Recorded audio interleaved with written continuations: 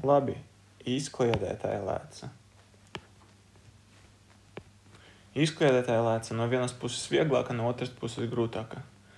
Kāpēc vieglākā? Tāpēc, ka visi zīmējumi zīmēs vienādi. Kāpēc grūtākā?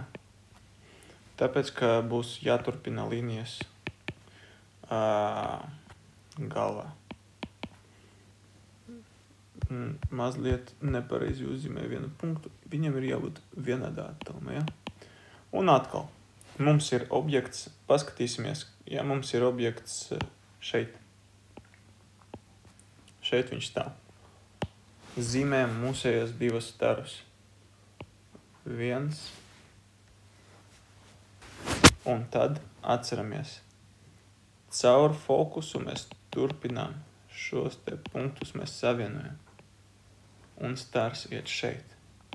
Ja? Un tagad otrs stars man būs, viņš ies caur centru. Šķībi vēlreiz caur centru.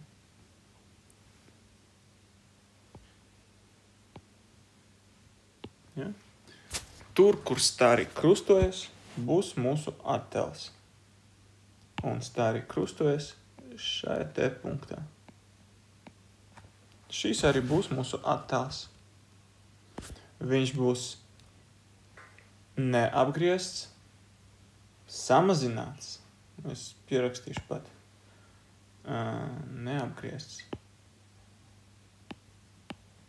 Samazināts. Un šoreiz šķietams, jo mēs turpinājām mūsu starus šeit, mēs turpinājām tos galvā. Jā, šķietams.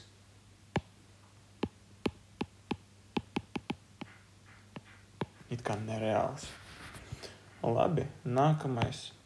Ja mūsu objekts ir starp fokusu un izkliedētāju lēcu. Šeit ir fokus, fokus, un šeit ir objekts. Tagad viens stars iet paralēli, tad mēs to turpinām. Tad mēs to turpinām līdz šeit, šeit viņš iet. Otrs stars iet diagonāli caur centru. Jūs jau sapratāt ideju, ja? Šeit stari krustojas, un šeit ir mūsu attēls un viņš ir tāds pats samazināts, šķietams, neapgriezts. Un uh, līdzīgi būs jebkuram attēlumam, pamēģiniet visādus attēlumus, un arī atkal pamēģiniet paskatieties, kas notiek šeit ar objektu, ja viņš atrodas fokusa attēlumā. Tāpēc sava cēlēcija ir gan, izkliedēta cēlēcija ir gan vieglākā, gan grūtākā.